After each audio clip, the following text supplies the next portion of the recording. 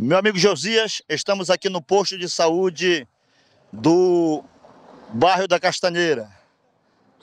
Totalmente fechado e olha, e nem aviso quando é que vai funcionar.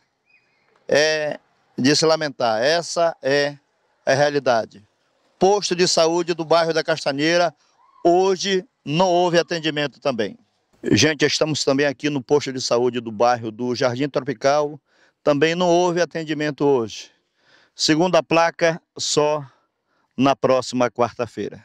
Pois é, gente, a realidade é essa. Em plena segunda-feira, os postos de saúde todos fechados, os postos de saúde da cidade. Cidadão, o que você acha hoje, plena segunda-feira, os postos de saúde da nossa cidade todos fechados?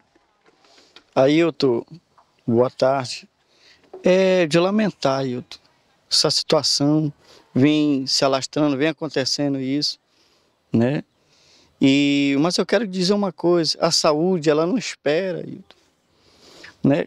Com um posto de saúde funcionando, a UPA já fica superlotado de, de atendimento, pessoas para ser atendido. Imagine os postos fechados. Quem sofre com isso é a população de Breves, é a população vizinha do interior que vem né, muito longe, como do Ituquara veio pessoas para ser atendida hoje e não conseguiu atendimento porque está feriado, é feriado.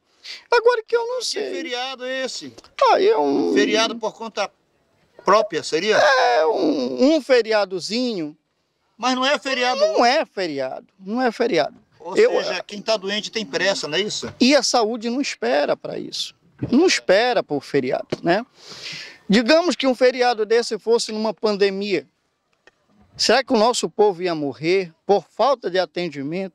Olha, eu acho que por parte da nossa gestão que estamos tendo, por parte dos trabalhadores da saúde, eu não sei.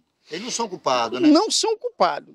A questão aqui é administração. É, a, a questão é a administração.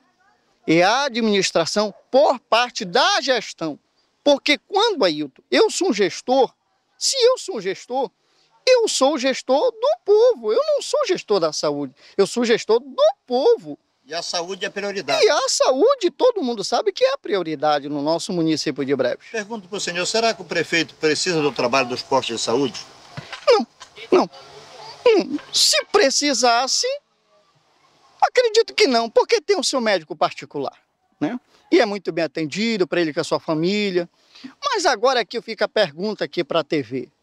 Será que a nossa população de Breves, será que o nosso povo do interior, que votemos e temos o dever e devemos ser olhado com carinho e devemos ter respeito e devemos ser respeitado, temos sendo respeitado?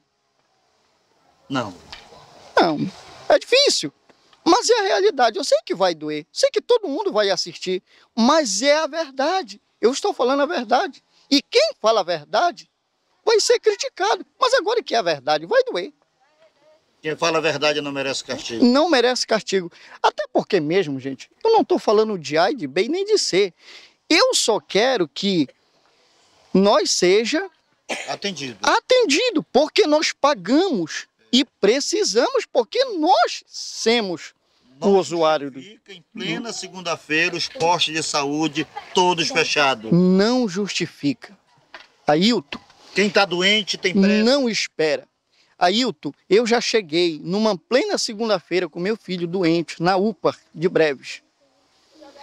E nós cheguei sete da manhã e fomos atendidos meio-dia, por conta que o a UPA estava cheio de povo, estava cheio de gente, com um médico, um médico e um enfermeiro, né, e o resto técnico. Aí eu te pergunto, Ailton, é justo isto? Para um, tá fechado hoje? Para o nosso? Não, não é. Imagine com os postos de saúde abertos. A UPA já fica nessa situação. E aqui, Wanderlei, a gente não está a gente não tá botando a culpa no profissional da saúde, não. Ele é funcionário. Mas aqui a gestão, o que está faltando é a administração, não é verdade? Administração. Respeito com o povo. Respeito com o povo. Cuidar da nossa gente. Ô, meu irmão, é isso, é, isso. é verdade, é isto. Muito é obrigado, isso. viu, Nós, cobra- nós cobramos, tá? E você que vai nos assistir, não nos critique, tá? Que Porque eu estou reivindicando o meu direito. Porque o que o artigo 5 da Constituição nos dá é que nós cobramos os nossos direitos. Que amanhã eu e você pode estar precisando, não é verdade? Isso.